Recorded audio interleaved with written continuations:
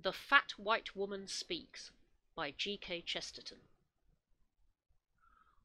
Why do you rush through the field in trains, Guessing so much and so much? Why do you flash through the flowery meads, Fat headed poet that nobody reads? And why do you know such a frightful lot About people in gloves and such? And how the devil can you be sure guessing so much and so much, how do you know but what some one who loves always to see me in nice white gloves at the end of the field you are rushing by is waiting for his old Dutch?